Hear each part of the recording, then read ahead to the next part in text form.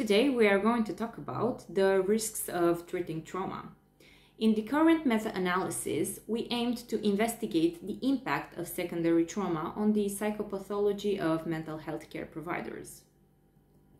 For a better understanding of this subject, we are going to talk about the theoretical background.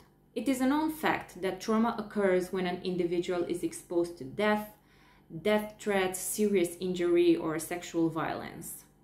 This kind of exposure to traumatic events possesses risk of developing psychiatric disorders. Indirect exposure to stories about trauma, to graphic content, or to people that suffer from PTSD can lead to secondary trauma. The effects of secondary trauma are conceptualized in literature as secondary traumatic stress, compassion fatigue, or vicarious trauma. Although they are used interchangeably, these concepts have differential characteristics. First of all, secondary traumatic stress overlaps with PTSD symptoms, such as flashbacks, avoidant responses, or physiological arousal. Compassion fatigue is the diminished capacity of a professional to have compassion after being repeatedly exposed to patient trauma and suffering. Vicarious trauma acts like a complex countertransference and it affects cognitive schemas related to safety, trust, self esteem, intimacy, and control. Secondary trauma also has implications concerning other clinical symptoms and psychopathologies such as depression, anxiety, or PTSD.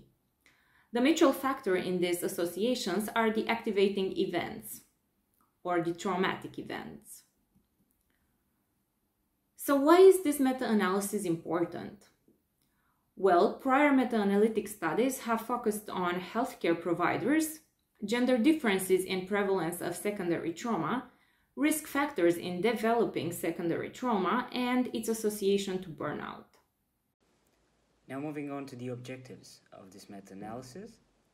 The first objective was to assess the overall effect size of the relationship between secondary trauma and psychopathology then the second objective pertained to the identification and investigation of the potential theoretical and methodological moderators found in this relationship. So in this respect, the current meta-analysis aims to investigate the impact of secondary trauma found as secondary traumatic stress, compassion fatigue, or vicarious trauma on the mental health condition of the mental health providers depending on variables such as work experience or gender, among others.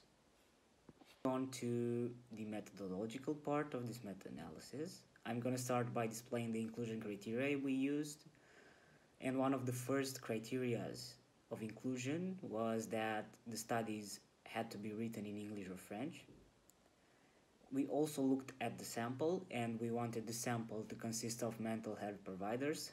And by mental health providers, meaning clinicians, psychotherapists, counselors, social workers, or medical psychiatric professionals. We also looked at the way secondary trauma was operationalized, and we wanted it to be operationalized as secondary traumatic stress, compassion fatigue, or vicarious trauma. And one of the last inclusion criteria um, we had was the way the clinical symptomatology was evaluated and we wanted the evaluation to have been made with standardized instruments meaning the instruments used had a Cronbach alpha bigger than 0.7. The search we did in databases took part between December 2020 and January 2021 and we started off with quite a big amount of studies.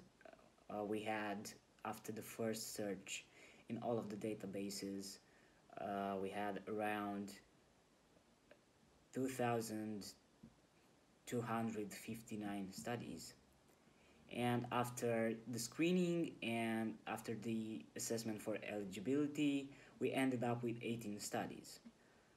Now, talking about the analysis that we used in this meta analysis, uh, all the st statistical analysis were conducted using comprehensive meta-analysis and we based uh, them upon Pearson coefficient of correlation. The mean effect size uh, effect sizes were extracted from correlation indices and sample sizes, and we expected a high degree of heterogeneity. Uh, also, the pooled size effects were calculated using the random effects model. The heterogeneity was tested with 12 statistic, uh, which basically reflects the percentage of the observed heterogeneity. Also applied a meta-regression uh, to test for moderation. Now moving on to the results part of this presentation. As we expected, found a high, high global effect size of 0.55, which was statistically significant. And about the heterogeneity, as we estimated before, we found a high degree of heterogeneity of 95%. We also used the procedure remove one see the impact of each study on our meta-analysis and after applying this procedure no changes have been observed on the values that we got on the results that we got. Results of the meta regression we applied test for any moderation. We have found none of the moderators we proposed to have a significant relationship to assess whether there was a publication bias or not, we first inspected the funnel plot and we found that there was no bias of publication.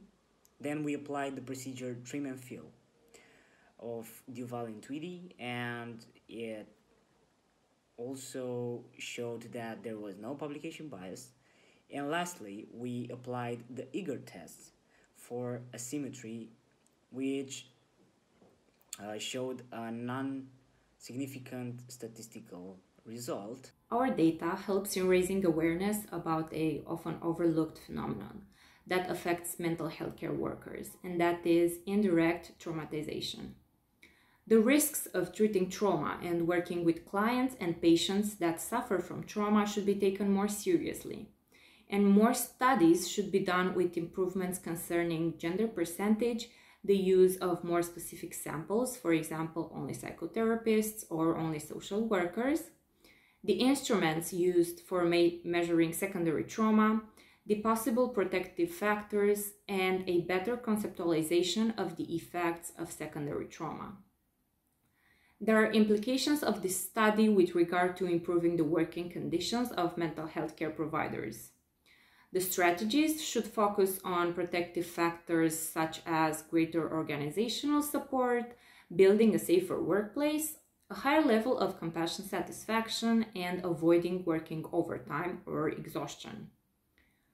So, the current meta analysis reached its goal of confirming the relationship between secondary trauma and psychopathology, and we hope that future studies will address more of this topic.